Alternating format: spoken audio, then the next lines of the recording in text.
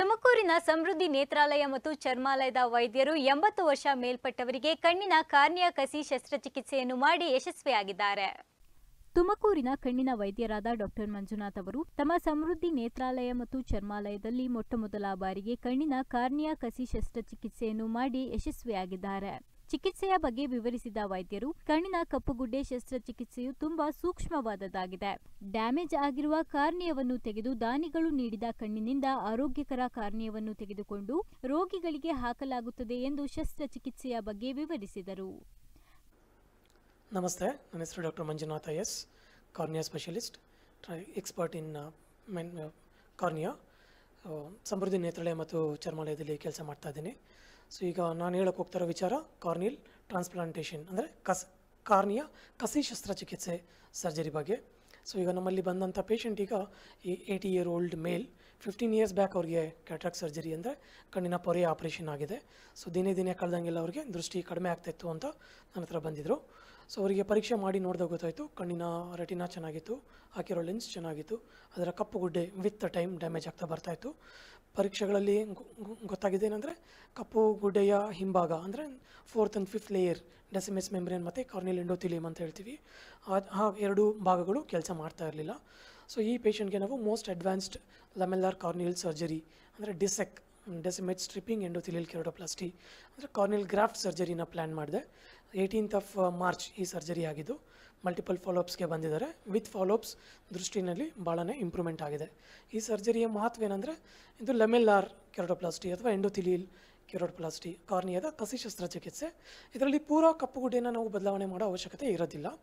ಇದರಲ್ಲಿ ಈ ಪೇಷಂಟಲ್ಲಿ ನಾನು ಆಗಲೇ ಹೇಳ್ದಂಗೆ ಫೋರ್ತ್ ಫಿಫ್ತ್ ಲೇಯರ್ ಮಾತ್ರ ಡಿಸೀಸ್ಡ್ ಅಥವಾ ಡ್ಯಾಮೇಜ್ಡ್ ಆಗಿರೋದ್ರಿಂದ, ನಾವು ಈಗ ಡೋನರ್ ಕಾರ್ನಿಯಾ ಸತ್ತ ನಂತರ ಯಾರು ಕಣ್ಣುಗಳನ್ನು ದಾನ ಮಾಡ್ತಾರೆ, ಆ ಕಣ್ಣುಗಳಲ್ಲಿ ನಾವು fourth and fifth layer healthy ಕಾರ್ನಿಯನ್ನು ತಗೊಂಡು ನಮ್ಮ ಪೇಷಂಟಲ್ಲಿ ಡ್ಯಾಮೇಜ್ ಆಗಿರೋ ಟಿಶ್ಯೂನ ತೆಗೆದು ಡೋನರ್ ಕಾರ್ನಿಯಾಯಿಂದ ಈ ನಮ್ಮ ಪೇಷಂಟಿಗೆ ಅಳವಡಿಸಿದ್ದೀವಿ. ಆ size of the tissue will be hardly around around fifteen to twenty microns tissue ಭಾಳ ತಿನ್, ತೆಳುವಾಗಿರುತ್ತೆ. ಸೊ ಈ ಈ ಸರ್ಜರಿಯ ವಿಶೇಷತೆ ಏನಂದರೆ ಪೇಷಂಟ್ ವಿಜುವಲ್ ರಿಕವರಿ ಅಂದರೆ ದೃಷ್ಟಿ ಕಾಣೋದು ಭಾಳ ಬೇಗ ಆಗುತ್ತೆ, ಬೇಗ ಕಾಣುತ್ತೆ. ಅವ್ರಿಗೆ ಆಲ್ಮೋಸ್ಟ್ ಚುಚ್ಚೋದು ಉರಿ ಆಗೋದು ಆ ಥರದ್ದು ಏನೂ ಇರೋದಿಲ್ಲ. ಅದು ಆಲ್ಮೋಸ್ಟ್ ಬೇಗನೇ ಅವರು ಆಲ್ಮೋಸ್ಟ್ ಓಡಾಡಲಿಕ್ಕೆಲ್ಲ ಶುರು ಮಾಡ್ತಾರೆ. ಟಿಶ್ಯೂ ಅಕ್ಸೆಪ್ಟೆನ್ಸ್ ಚೆನ್ನಾಗಿರುತ್ತೆ. ಗ್ರಾಫ್ಟ್ ಅಕ್ಸೆಪ್ಟೆನ್ಸ್ ಚೆನ್ನಾಗಿರುತ್ತೆ. ಸೊ ಈ ಥರ ಈ ಸರ್ಜರೀಸ್ಗೆಲ್ಲ ಮುನ್, ಹಿನ್, ಮುಂಚೆ ಎಲ್ಲ ಪೇಷಂಟ್ಸ್ ಬೆಂಗಳೂರಿಗೆಲ್ಲ ಅಥವಾ ಹೈಯರ್ ದೊಡ್ಡ ದೊಡ್ಡ ಸಿಟಿಗಳಿಗೆಲ್ಲ ಓಡಾಡಬೇಕಾಗ್ತಾಯಿತ್ತು ಈಗ ಈ ಸರ್ಜರಿ ಫೆಸಿಲಿಟೀಸ್ ನಮ್ಮಲ್ಲಿ ಸಮೃದ್ಧಿ ನೇತ್ರಾಲಯ ಮತ್ತು ಚರ್ಮಣೆಯಲ್ಲಿ ಅವೈಲೇಬಲ್ ಇದೆ.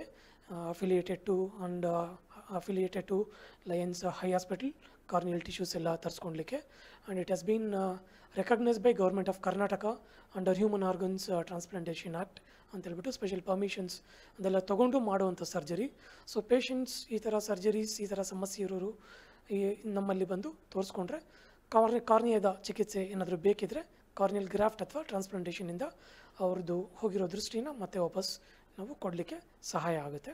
ಈ ಈ ಕಾರ್ನಿಯಲ್ ಟ್ರಾನ್ಸ್ಪ್ಲಾಂಟ್ ಸರ್ಜರಿನ ನಾವು ಆ್ಯಕ್ಚುಲಿ ತುಂಬ ಚಿಕ್ಕ ವಯಸ್ಸಿಂದ ಹಿಡಿದು almost I mean two three ಇಯರ್ಸಿಂದ ಹಿಡಿದು ಏಯ್ಟಿ ಏಯ್ಟಿ ಫೈವ್ ಇಯರ್ಸ್ ತನಕನೂ ಮಾಡ್ಬೋದು. ವಿತ್ ಟೈಮ್ ಅದು ಕಾರ್ನಿಯಲ್ ಎಂಡೋಥಿಲಿಯಂ ಕೌಂಟು ಈ ಥರ ಎಲ್ಲ ಕಮ್ಮಿ ಆಗ್ತಾ ಹೋಗುತ್ತೆ. ನಾನಾ ಕಾರಣಗಳಿಂದ ಕೂಡ ಕಾರ್ನಿಯಾ ಡ್ಯಾಮೇಜ್ ಆಗುತ್ತೆ. ಈ ಕಪ್ ಕಪ್ಪುಗುಡ್ಡೆ ಪೂರ ಫ್ರಂಟಲ್ಲಿ ತ್ರೀ ಲೇಯರ್ಸ್ ಮಾತ್ರ ಡ್ಯಾಮೇಜ್ ಆಗಿದ್ರೆ ಅವ್ರಿಗೆ ಡೀಪ್ ಆ್ಯಂಟೀರಿಯಲ್ ಲೆಮೆಲ್ಲಾರ್ ಕೆರೋಟೋಪ್ಲಾಸ್ಟಿ ಡಾಲ್ಕ್ ಅಂತ ಏನು ಹೇಳ್ತೀವಿ, ಅದನ್ನು ಮಾತ್ರ ಮಾಡ್ಬೋದು.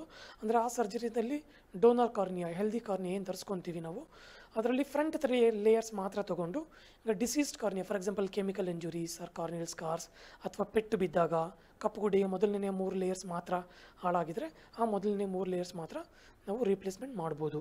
ಸೊ ಅಥವಾ ಪೂರ ಫಾರ್ ಎಕ್ಸಾಂಪಲ್ ಈಗ ನಮ್ಮ ತುಮಕೂರಿನಲ್ಲಿ ಅತಿಯಾದ ಒಂದು ಕಣ್ಣಿನ ನಾಟಿ ಚಿಕಿತ್ಸೆ ನಡೀತಾ ಇದೆ. ತುಂಬ ಜನ ಹೆಂಗೆ ಬರ್ತಾರೆ ಅಂದರೆ ನಾಲ್ಗೆಯಿಂದ, ಬೆಣ್ಣೆಯಿಂದ, ಕ, ಕಡ್ಡಿಯಿಂದ, ನೋಟಿನ ಎಡ್ಜಿಂದ ತೆಗೆಸ್ಕೊಂಡಿರ್ತಾರೆ. ಕಣ್ಣಲ್ಲೇನೋ ಕಲ್ಲು ಬಿದ್ದಿದೆ ಅಂತ ಹೇಳ್ಬಿಟ್ಟು. ಅದು ಆ್ಯಕ್ಚುಲಿ ಆ ಥರ ಎಲ್ಲ ಮಾಡಿಸ್ಕೊಂಡಾಗ ಕಣ್ಣಿನ ಹುಣ್ಣು ಇನ್ನೂ ಜಾಸ್ತಿ ಆಗುತ್ತೆ. ಆಲ್ಮೋಸ್ಟ್ ಬಂದಾಗೆಲ್ಲ ಆಲ್ಮೋಸ್ಟ್ ಕಣ್ಣು ತೂತ ಆಗಿರುತ್ತೆ.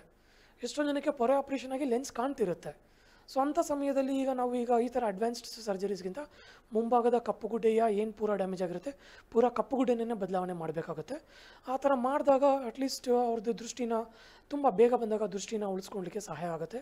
ತುಂಬ ಲೇಟ್ ಆದಷ್ಟು ದೃಷ್ಟಿ ಉಳಿಸ್ಕೊಳ್ಳೋದು ಭಾಳ ಕಷ್ಟ ಆಗುತ್ತೆ. ಇನ್ಫೆಕ್ಷನ್ ಹಿಂದೆ ಸ್ಪ್ರೆಡ್ ಆದರೆ ಅಥವಾ ಕಾರ್ನಿಯ, ಪೂರ ಕಾರ್ನಿನ ಇನ್ವಾಲ್ವ್ ಆದಾಗ ಇವನ್ ಸರ್ಜರಿ ಕೂಡ ಕಷ್ಟ ಆಗುತ್ತೆ. ಈ ಥರ ನಾಟಿ ಚಿಕಿತ್ಸೆನ ದಯವಿಟ್ಟು ಜನಗಳು ಅವಾಯ್ಡ್ ಮಾಡಿದ್ರೆ ಭಾಳ ಉತ್ತಮ. ಈ ಥರ ಚಿಕಿತ್ಸೆ ಬೇಕಾಗುವಂಥವ್ರು ಅತಿ ಬೇಗ ಬೇಗ ಸಮಯದಲ್ಲಿ ಒಬ್ಬ ಕ ಒಬ್ಬರು ಕಣ್ಣಿನ ಡಾಕ್ಟರ್ ಹತ್ರ ಪರೀಕ್ಷೆ ಮಾಡಿಸ್ಕೊಂಡು ಈ ಥರ ಚಿಕಿತ್ಸೆ ಬೇಕು ಅಂತ ಅವರು ತಿಳ್ಕೊಂಡು ಬೇಗ ಸರ್ಜರಿ ಮಾಡಿಸ್ಕೊಂಡ್ರೆ ದೃಷ್ಟಿಯ ರಿಕವರಿ ಚಾನ್ಸಸ್ ಚೆನ್ನಾಗಿರುತ್ತೆ ಫಾಸ್ಟ್ ಇರುತ್ತೆ.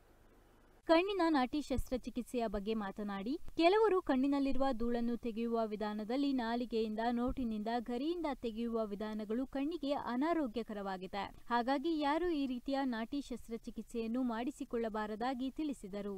ನನ್ನ ಹತ್ರ ಅಪ್ಪಣ ಅಂತ. ನನಗೆ ಕಣ್ಣು ಆಪರೇಷನ್ ಆಗಿ ಒಂದು ಹದಿನೈದು ವರ್ಷದ ಮೇಲಾಗಿ ಹೋಗಿತ್ತು. ದೃಷ್ಟಿ ಭಾಳ ಕಡಿಮೆ ಆಗೋಗ್ಬಿಟ್ಟಿತ್ತು ಕಮ್ಮಿ ಅಂದ್ರೆ ಕಮ್ಮಿ ಕಾಣ್ತಾನೇ ಇರಲಿಲ್ಲ. ಬೆಂಗಳೂರಿಗೆ ಹೋಗ್ರಿ ಹಾಗೆ ಅಂತ ಹೇಳಿದರು. ಹೋಗೋಕ್ಕೆ ಶಕ್ತಿ ಬೇಕಲ್ಲ.